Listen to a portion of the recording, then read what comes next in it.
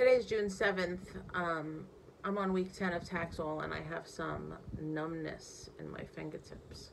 It's one of those things that they say to expect. I'm hoping that it's temporary. Um, I just emailed my doctor and her team to see if there's anything else I should be doing other than B vitamins. Um, day four is usually, eh, you know, because this chemo is cumulative, day four is usually an uncomfortable day for me. I'm not really in pain, I'm not sick, I'm not anything, I'm just kind of tired and uncomfortable.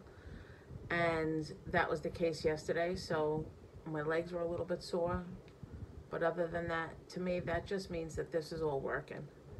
Um, you know, the whole thing is pretty amazing when you think about it because you start out and you have this horrible germ that's, you know, taking over your body. And you don't want that to happen.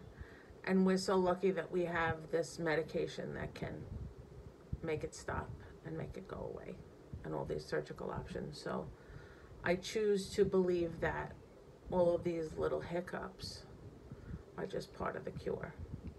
So I'm okay. My fingers are a little bit numb, but I had my nails done, so as long as you look good.